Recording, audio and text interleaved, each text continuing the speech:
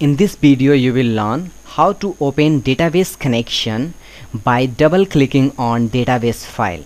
For example in my solution explorer there is a database.mdf file.